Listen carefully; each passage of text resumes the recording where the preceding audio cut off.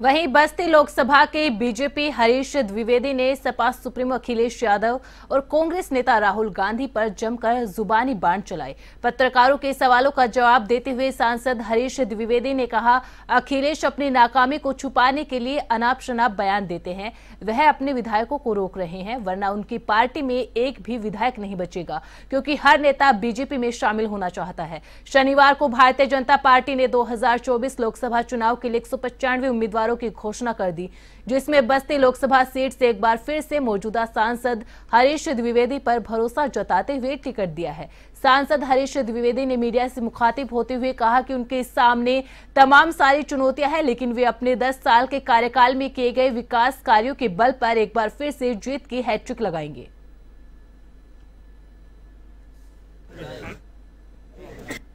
आदरणीय प्रधानमंत्री जी के नेतृत्व में इस देश को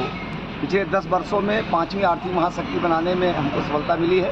प्रधानमंत्री जी का लक्ष्य है कि 2027 तक इस देश को दुनिया की तीन आर्थिक महाशक्तियों में एक बनाना है और साथ ही साथ इस देश के विकास के लिए, गाँव गरीब किसान मजदूर के विकास के लिए